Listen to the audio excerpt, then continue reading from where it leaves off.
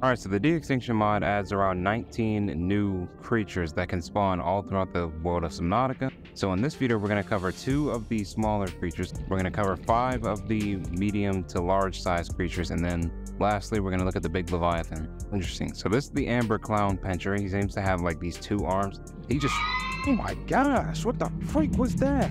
Well, that's one of the newer creatures as well. I'm not sure what that bird is called, but that's a new creature. It scared the mess out of me. I don't know what that sound was. But the Amber Clown Pincher, he's got these two nice little arms. It kind of looks like a, uh, you know, clownfish, hence the name Clown Pincher. You can cook the clown pinchers, okay. Because a lot of the a lot of the smaller fish that this mod adds, you can put into the fabricator and you can cook. So that's also a nice little feature. So that's the amp. no way that's the Amber Clown Pincher making that sound. Next, we have these Filtorbs. I'm not even sure if you'd consider these fish. They're kind of just like little, you know, orbs that sit around. They kind of float around. And whenever you go near them, they will close up and you can't grab them. When you are not near them, they will stay open. Like as we can see right now, they're kind of like inside of them are blue and you can see the orange interior. So the amber clown pinchers that we just covered, they're found in the found in the sparse reef, the underwater islands, and the mushroom forest biomes. And then the filtorbs that I just showed are found in the in the dunes biome, the grand reef, the grassy plateaus, the mountains, the safe shallows, the kelp forest, and the deep grand reef. Okay, and the next small creature we have on this list is going to be the ribbon ray. The ribbon ray are found in the safe shallows, the sparse reef, and the mushroom forest. Ribbon ray is super colorful. You know, it's got that nice little green color and then that blue stripe. And he's got like his little hoop arms. I kind of find that kind of funny. And then these long things on his back, freaking, they look like giant legs. But you can cook him. You can cook basically every small fish that this mod adds. All right, and the first medium to large size creature we have on this list is going to be the Grand Glider. And they usually spawn in like these big old groups together and they sort of like swim together. But uh, in this case, they're a little more scattered out. I'm not entirely sure why. But the Grand Glider, they look super freaky with their three eyes on each side of their faces, if that's even their face. I don't even know what that is. Model looks super cool, and these are found in the, they're found in the mountains biomes, the crag fields, the crash zone, the Grand Reef, and that's it, I think. And a lot of these larger creatures that I'll be showing, they do have um, eggs that can spawn around the map. So that's also a nice little thing. So you can take them to your um, alien containment and grow some of these. Grow? What? You can breed some of these creatures. What the freak? What did I just say? All right, the next large size creature we have on this list is going to be the Stellar. Yeah, the Stellar Thalassacean. This thing looks like a big old boomerang. They sort of swim kind of slow, similar to the reefbacks. Uh, I'm guessing that's their mouth. That's kind of nasty if their mouth is just open all the time. That must suck for them.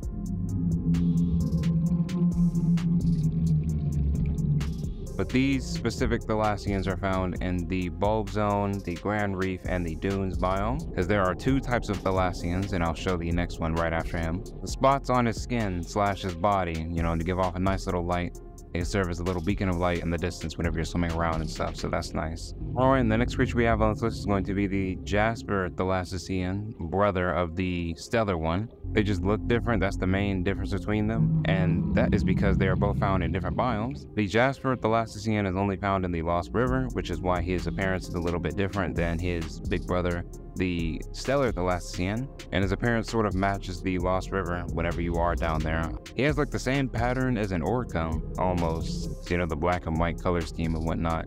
Either that or that fish from Finding Nemo, the black and white fish from Finding Nemo with the scars. He sort of looks like that too. Alright, and the next creature we got on this list is going to be the Twisteel, which basically, first thing I thought of was a stalker, because it very much looks like a stalker. These creatures are aggressive, as we can see he's still trying to bite me, but I have the damage turned off for research purposes. But it looks like a really, really long stalker. So the Twisteels are only found in the Bulb Zone, the Underwater Islands, and the Blood Kelp zones. And like the other creatures, you can also find eggs for them.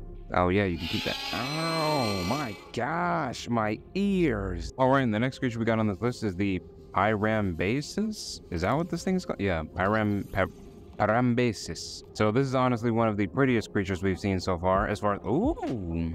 Oh my goodness. Prettiest looking creature that we've uh, seen so far in this mod. But these things are non-aggressive, so that's nice. You can admire them from a distance without having to worry about them running after you and attacking you and such.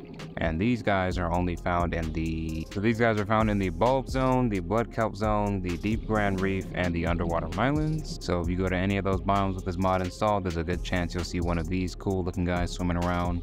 I really like the way these fins look. Can they damage you? Because it said like avoid them, but I don't know if that. Wow, wow, wow. Okay, okay, okay. So that little gas that it shoots off or lets off occasionally, that can damage you. But yeah, prettiest creature we've seen so far. And with that, we can move on to our, I believe it's our last creature, which is going to be the Leviathan that this mod adds in. Okay, before we show the actual Leviathan, this, this mod does add in a Leviathan baby that you can spawn in. So let's spawn Gulper. Oh, yeah, you can pick him up too. What the heck? Uh, yeah, this mod adds this little Gulper Leviathan baby. Cute little guy swims around. I don't think you can find it anywhere specifically. I think it just spawns randomly. And you just, I guess, have to be lucky and pick him up. Is he trying to eat me? What the heck is he doing? But yeah, the Gulper Leviathan baby looks super cool. And with that, we can head on to the actual Leviathan, which is going to be, as you would guess, the Gulper Leviathan. Okay, I made myself invisible to show this guy because even though I have the damage turned off, he can still just swallow you whole. But this is the Gulper Leviathan. As you would imagine, he is very aggressive. And if you are not in a vehicle, no matter how much health you may have, he can just bite you one time and it'll play like this little animation. My gosh, he is loud. He can grab you one time with this little animation and he will essentially swallow you whole because, you know, the name Gulper Leviathan, it does not specifically say what biomes it's in. It only shows coordinates for where it'll be specifically. So uh, yeah, I don't really know which biome exactly it'll be in. I know 100% it's underneath. There's one underneath the floating islands. There's definitely multiple that are swimming around the map. We'll say he's got some awesome freaking roaring sounds and whatnot. Whenever his roar dies down, it almost sounds like a freaking like how pirate ships, the wood creaking on a on a ship. Right, yeah, this is the Gulper Leviathan is going to be the last creature that I'm going to show for today. On and play the animation. Get over here, Mr. Gulper Leviathan. And there I go. But yeah, that was the de-extinction mod. It adds a ton of new creatures into the game. 19 new creatures that spawn around the map to be exact. All in different different biomes, locations, caves, etc. So it adds a lot of new. It'll make your Subnautica game a lot more exciting because there's going to be a lot more creatures, new creatures that you can run into, new creatures to cook, new threats and whatnot. And it adds a new Leviathan that you can mess around with. So that's also super cool. But yeah, I showed a lot of the creatures from the mod, but I did not show all of them. I believe I showed like nine I think eight or nine, and there's 19 creatures. I don't want to show every single creature because if you are interested in, you know, checking out the mod, playing the mod yourself, I don't want to spoil like every little thing, you know, leave some things for surprise. Other than that, I just wanted to give you a nice little taste of the mod and get you interested in it because it is a really awesome mod. If you have any other mod suggestions or recommendations for me to check out, feel free to let me know in the comments below. Other than that, that is what I had for y'all. Thank y'all for watching. I hope y'all enjoyed, and I will see y'all in the next one. Peace.